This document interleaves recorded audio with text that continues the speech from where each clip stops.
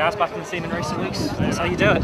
Yeah, um, we were very good under, under a lot of pressure. 20,000 fans expecting, and we went out there and delivered a very good performance against a good footballing side. And yeah, we we deserved the win, and I think we deserve it. And all the promotion, we've been great for 46 games, rock solid at the back, and uh, yeah, we deserve it. Perfect way to end the season.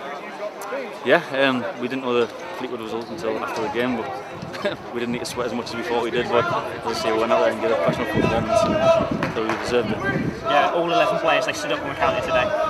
Yeah, they did. You know, um, we've got a, we've got a good, a good, strong team all, all the way through. Mentally strong. A lot of lads who played a lot of games, great experience. I think it showed. And it's a great team chemistry as well.